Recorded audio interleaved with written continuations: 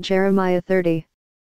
The word that came to Jeremiah from the Lord, saying, Thus speaketh the Lord God of Israel, saying, Write thee all the words that I have spoken unto thee in a book.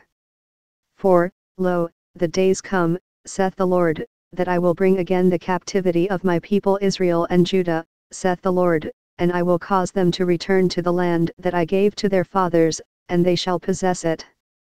And these are the words that the Lord spake concerning Israel and concerning Judah. For thus saith the Lord, We have heard a voice of trembling, of fear, and not of peace. Ask ye now, and see whether a man doth travail with child? Wherefore do I see every man with his hands on his loins, as a woman in travail, and all faces are turned into paleness. Alas! For that day is great, so that none is like it, it is even the time of Jacob's trouble, but he shall be saved out of it.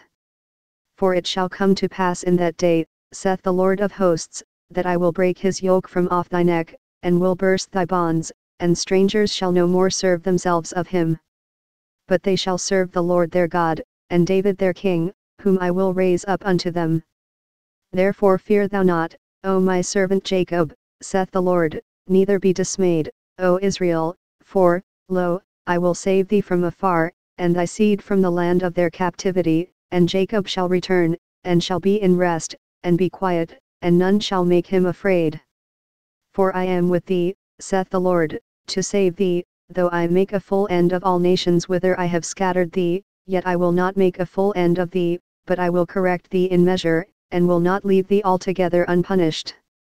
For thus saith the Lord, Thy bruise is incurable, and thy wound is grievous there is none to plead thy cause, that thou mayest be bound up, thou hast no healing medicines. All thy lovers have forgotten thee, they seek thee not, for I have wounded thee with the wound of an enemy, with the chastisement of a cruel one, for the multitude of thine iniquity, because thy sins were increased. Why criest thou for thine affliction?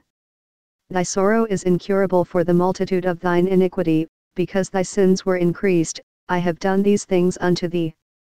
Therefore all they that devour thee shall be devoured, and all thine adversaries, every one of them, shall go into captivity, and they that spoil thee shall be a spoil, and all that prey upon thee will I give for a prey.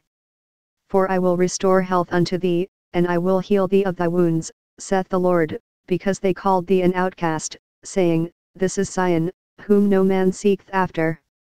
Thus saith the Lord, Behold, I will bring again the captivity of Jacob's tents, and have mercy on his dwelling places, and the city shall be builded upon her own heap, and the palace shall remain after the manner thereof. And out of them shall proceed thanksgiving and the voice of them that make merry, and I will multiply them, and they shall not be few, I will also glorify them, and they shall not be small.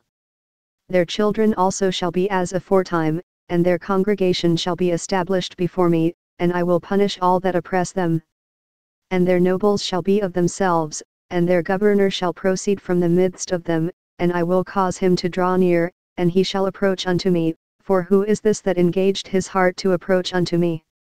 Saith the Lord. And ye shall be my people, and I will be your God. Behold, the whirlwind of the Lord goeth forth with fury, a continuing whirlwind, it shall fall with pain upon the head of the wicked. The fierce anger of the Lord shall not return, until he hath done it, and until he have performed the intents of his heart, in the latter days ye shall consider it.